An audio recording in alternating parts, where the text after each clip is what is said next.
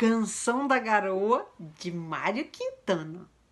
Em cima do meu telhado, pirulim, lulim, lulim, um anjo todo molhado soluça seu serafim.